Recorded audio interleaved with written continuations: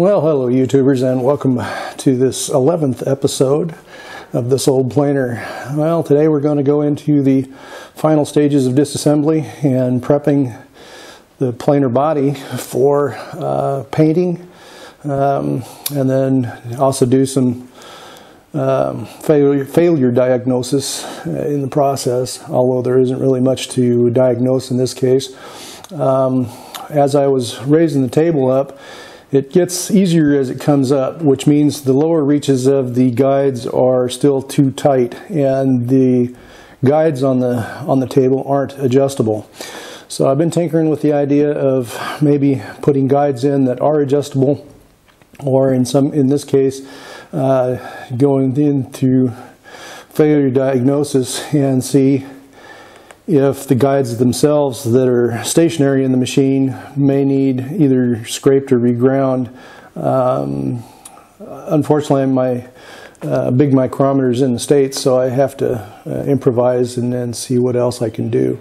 Now, I do have a dial caliper at home, and I'll probably bring that along to see if there's any measurable difference um, from the top of the guides down to the bottom. If there is, then we'll either probably just stick those guides on the grinder and just take off, you know, a thousandth of a millimeter or two and color it good uh, so that uh, the tension is equal all the way up and down the travel of the of the elevation uh, guide.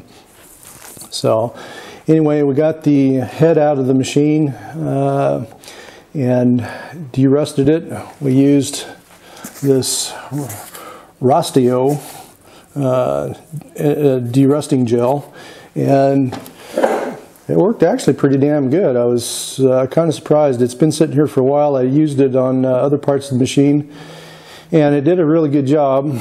And it's been sitting here for a little over a year, I think.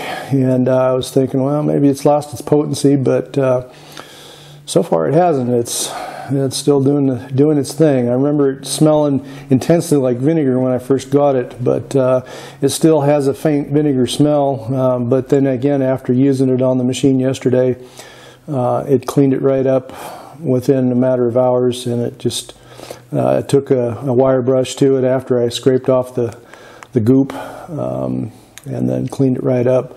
So it polished up real nice. Now it's out there soaking in a little bit of cutting oil so that uh, the cast iron doesn't uh, flash rust.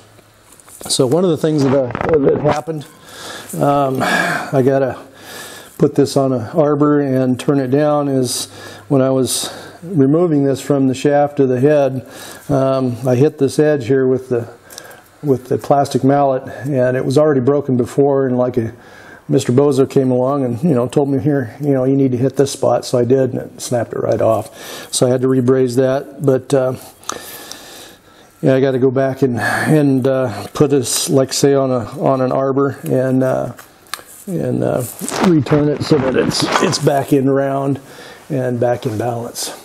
So now the next step is we're going to put eye bolts on the uh, the elevation, the the table elevator or the table itself, and hoist it out. There's four bolts that hold it in place. We'll show you that all here when we go out to the to the planer, but. Um, interesting. This is also an, another little uh, review of the uh, Fein cordless drill. Um, I was really shocked to see how well this thing actually functions. Um, it's the chuck on it is is solid enough to where it will grip a uh, a, a, tap, and uh, you can actually tap. Use a hand tap. You know, there's a set of three with hand taps.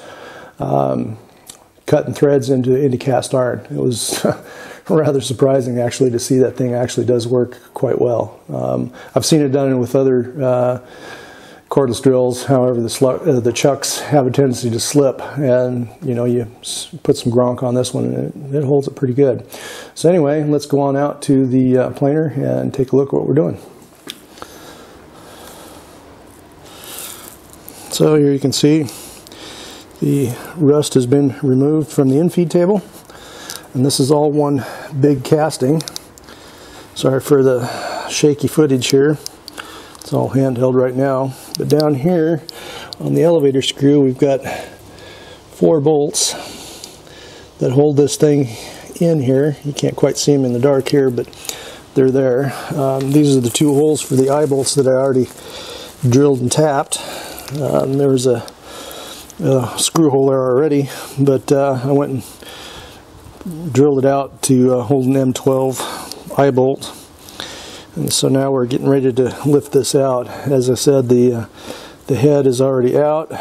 So now we're going to go out and uh, on the front side of the table, on the infeed side, we're going to put two holes in there uh, relatively, uh, you know, use a nominal distance so where uh, those holes later on are going to be used for the uh, exhaust hood or the, uh, the, the, the, chip collector.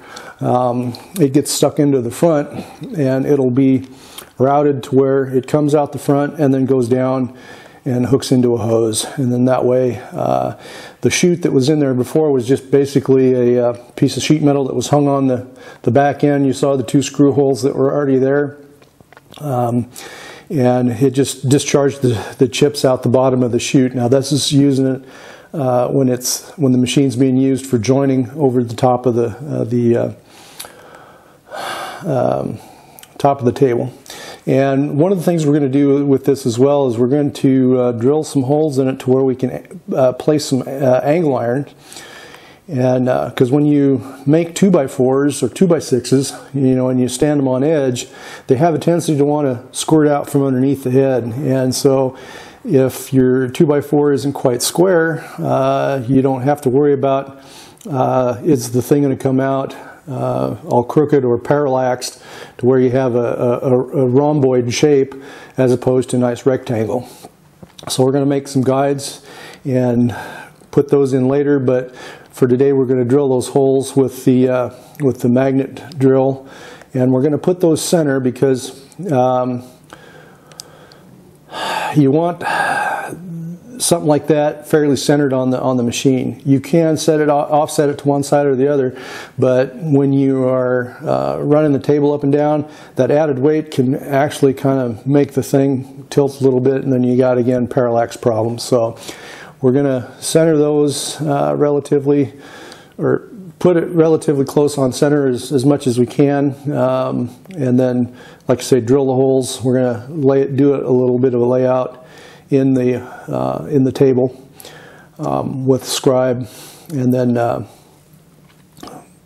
put a line there, drill our holes, and then uh, later on, once we get that done, we'll make the guides. So that way um, you can do narrow boards, you know, from one by uh, to up to you know to three by without the thing trying to tip over as it's going through the through the planer.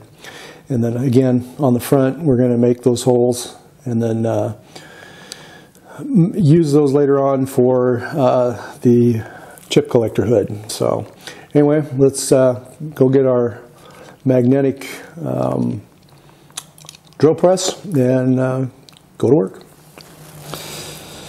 So here on the table, we have a lip on either side. And so we're going to establish center and we have exactly 500 and 505 millimeters so that would be 27.5 so that would be uh, let's see 25 plus seven and a half so that'd be 257 and a half millimeters. Now I'm just using a pencil here because this is going to be plenty accurate enough. We're just trying to establish a baseline here on the center of the table. So shop grade square is plenty good enough for this purpose. And we're going to use this as our baseline here.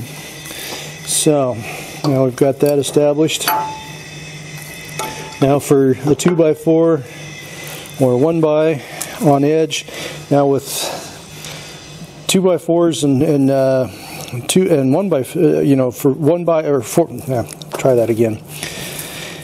With uh, boards when you're trying to edge boards on this way through the planer, uh, if you do them, if you try and double them up, sometimes they, they won't pull through because one is going to end up being slightly dimensionally different than the other.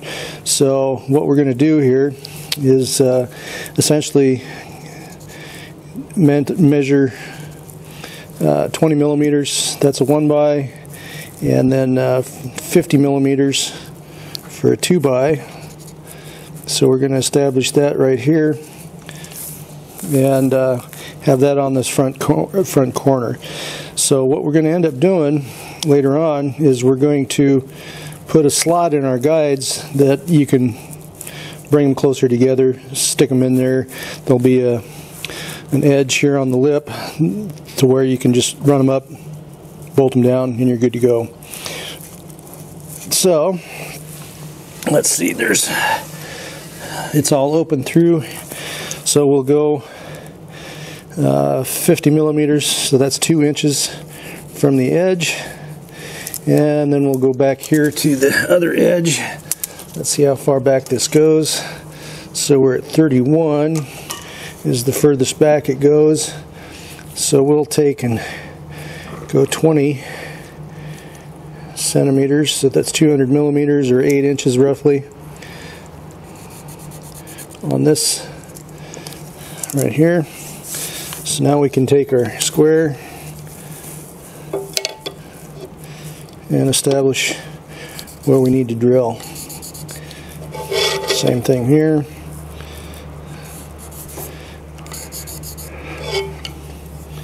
So we missed our mark by just ever so slightly, so we'll just extend that. And so we have 25 here.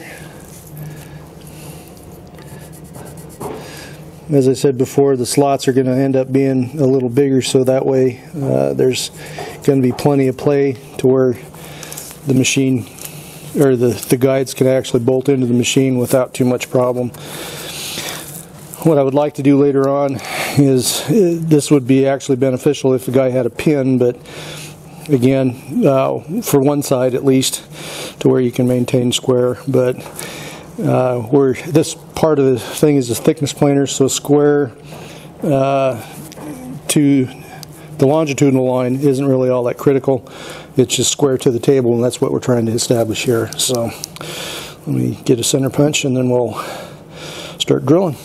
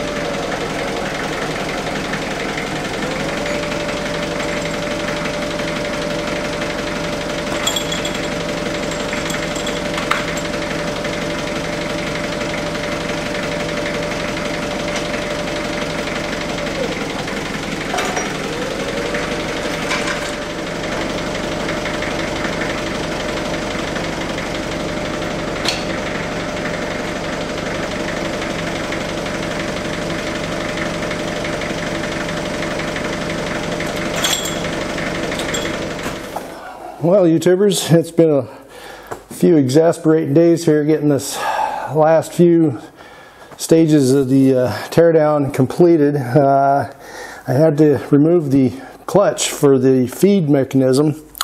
And what it basically, well, what it is, is you got two halves, two discs that one, I'll show you some pictures right here. Here's the uh, engagement disc.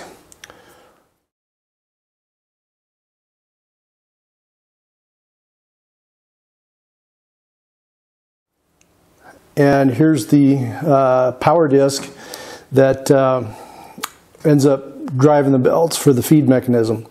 So, um,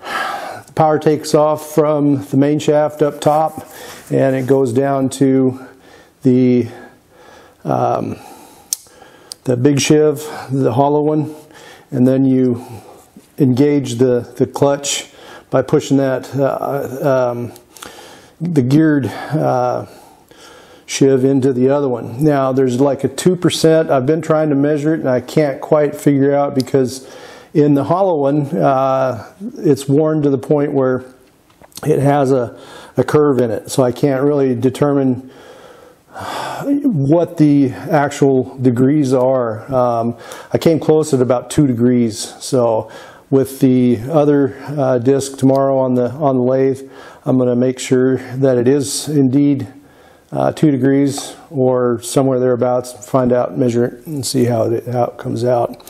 Um, got the belt main belt pulley here all dressed up. Um, brazed it, got that brazed part of it all repaired and looking pretty again. Um, I didn't take any footage of it. Uh, it's just a standard braze job, a little bit of lathe work. You guys have seen that stuff before. Uh, I did stick it on an arbor, however, so that uh, the accuracy was was guaranteed. But uh, it's looking pretty good. It'll it still has some serviceable life to it, so it'll uh, it'll work for what we need it for.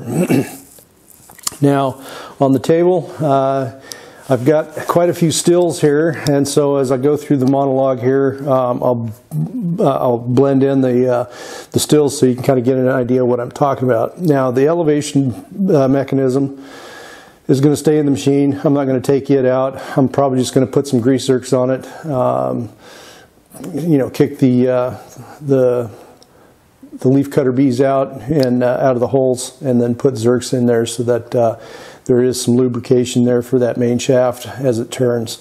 But other than that, I'm not going to do a whole lot with that. I'm just going to leave everything alone. There were some shims.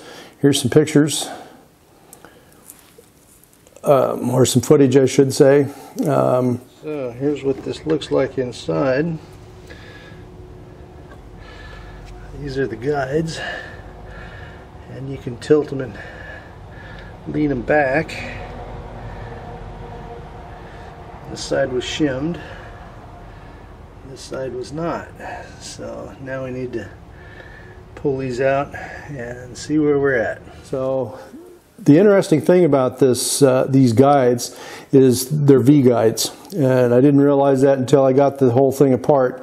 Um, as you saw in the footage, um, as I lifted the whole table up, the the uh, internal guides just kind of fell into the inside of the machine, and um, they're held in place by four bolts. Here's a still.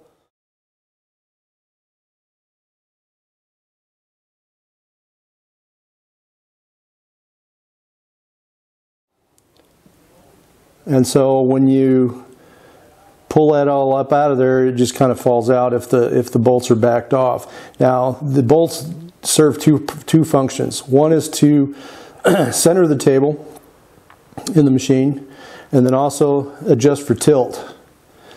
And on the side plates, here's the pictures. You got uh, the one side plate that holds all the gears. This is, that's that one right here.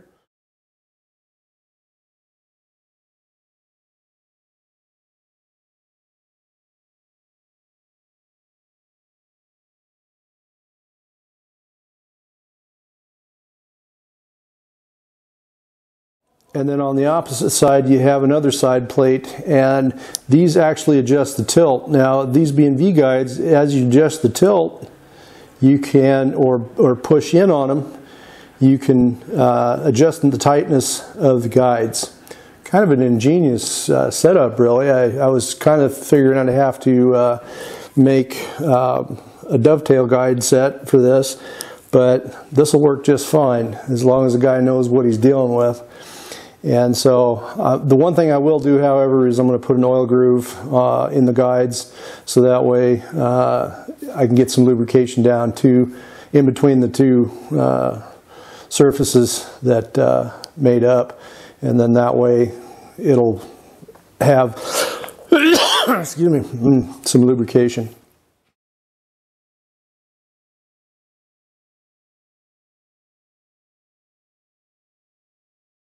So um, teardown's complete on so far. Um, I started painting some of these things, and so um, let's see.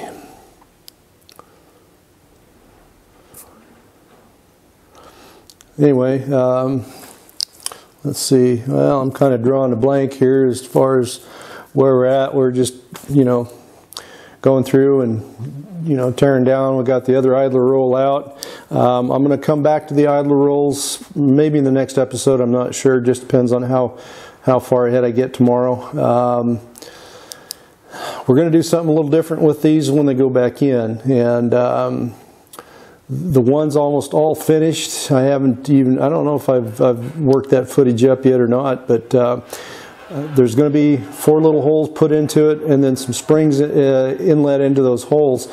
So that way the roller is trying to you know not just relying on gravity but uh, there's also some spring tension there holding that thing in place so that when you twist in the uh, the lubrication cups uh, to adjust the balance and the height and all that the thing won't just slop around. It, it actually has a little bit of a, uh, some resistance there. So we'll get into that in, in another episode, but uh, again, uh, not today. So anyway, that's the gist of what's been going on so far with this old planer. Um, hope you guys have enjoyed so, following along so far. Um, once I get the painting and, and the rest of the machining done, uh, which isn't going to be much. It's just going to be the clutch, you know, resurfacing that the, that mating face, and then um, cleaning up the the whole thing. Uh, then there's of course a, a brass half ring. I got to remake that. I got to look and see if I can get some material from eBay. Um, if not, kind of figure out how to play it by ear on that. Um, it's kind of a weird setup. You saw, here's the picture of it.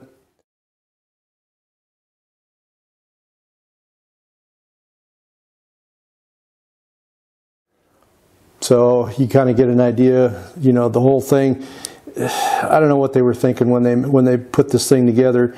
The um, the pin on it looks to be tapered, but then it's all wallered out because over the years it just from shoving it back and forth, it just it didn't have any way to to, to uh, pull it down into the tapered hole and secure it. Um, looks like there might have been a screw on there at one time and it ripped off or something. Um, I'm not sure how it was set up, but uh, we'll take a look at that again later on and see how we're going to make one of those rings and uh, go from there. So anyway, that's a wrap for this episode of this old planer on the final teardown. Hope you guys enjoyed following along so far and uh, got a little something out of it. Uh, during the during the reassembly of the thing, we'll get into the uh, the dynamics and the and the, the technicalities of setting up the the guides and all that. So um, there'll be more intense setup videos on that. So anyway, with that, we'll hope the guys that. So with that, um, that's a wrap. And if you guys have any thoughts, comments, suggestions, critiques, put them down in the doobly-doo down below. And uh, for those of you guys who are new to the channel, don't forget to rate, subscribe, and all that good jazz. As you can tell, I'm not used to plugging, but anyway, uh, thank you for stopping by, and we'll see you guys again all soon.